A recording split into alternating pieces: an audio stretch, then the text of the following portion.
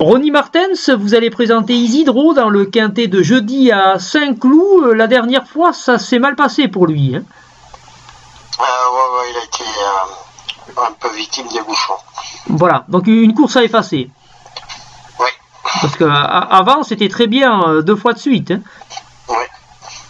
Euh, c'est un cheval qui a montré cet hiver qu'il était bien sur la PSF, qu'il était bien sur le terrain lourd, il n'y a rien qui le dérange alors. Hum, Pas grand-chose. D'accord. Et puis aussi, euh, ce qui est bon en ce début d'année de reprise parisienne, c'est qu'il profite de sa forme de gagne. Euh, oui, aussi, ouais. Voilà. Donc, euh, est-ce qu'on peut dire que tous les feux sont ouverts pour jeudi? Euh, oui, oui, le cheval est bien. Donc euh, après, j'ai pas, j'ai pas détaillé le lot. Je sais pas si le lot il, Hmm. est bon ou pas, mais Hmm. le cheval est bien en tout cas. En tout cas, voilà, vous le, vous attendez, comment dire, euh, à ce qu'il fasse sa valeur de gagne, quoi. Hmm. Oui, oui, oui.